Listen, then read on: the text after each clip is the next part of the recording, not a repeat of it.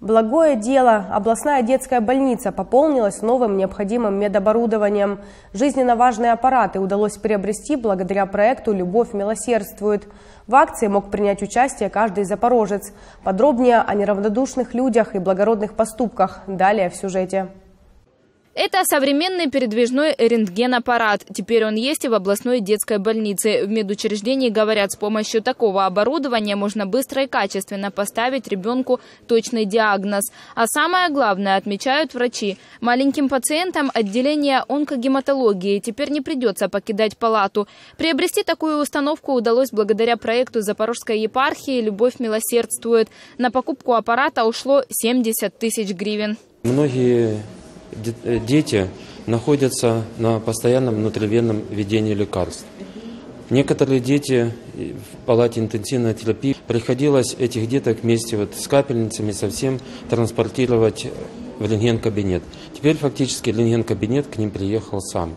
И вот э, транспортировка, перекладывание детей, это все сказывается на качестве лечения, сказывается, конечно же, и на э, выздоровлении ребенка. А отделение кардиологии пополнилось спецприбором для постоянного контроля за артериальным давлением. Чтобы запорожцы и участники проекта знали, на что потратили средства, собранные на проекте, в больнице появились вот такие листовки. Здесь работает оборудование, купленное на средства неравнодушных участников проекта «Запорожской партии» «Любой милосердие».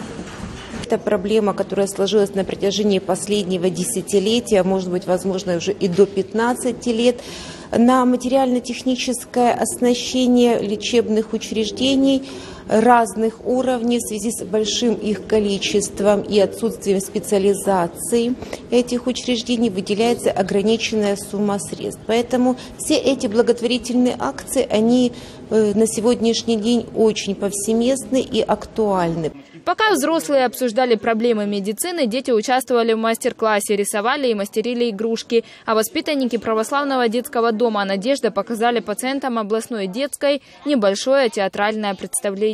И закрашен серый цвет, нарисую ту страну, в Запорожской епархии, говорят, средства на оборудование поступили во время благотворительного концерта, в котором вместе с другими ребятами участвовали дети президента Украины Петра Порошенко. В рамках проекта «Любовь милосердствует» деньги выделили два местных завода и все неравнодушные запорожцы. Благодаря акции также удалось приобрести электрокардиограф для пятой горбольницы.